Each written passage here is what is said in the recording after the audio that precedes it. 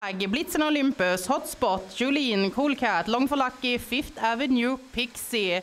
Det är SMT semifinal. Såg ni hur de startar ut ur sina burar? Det är hund nummer ett, Blitzen Olympus, som leder i kurvan, tätt följd av hund nummer tre, Jolin.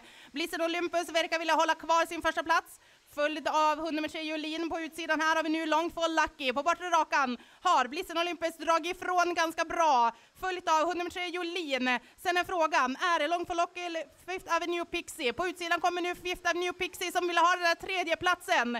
Men först här över mållinjen så verkar det bli Blitzen Olympus, följt av Jolin och sen Fifth Avenue Pixie.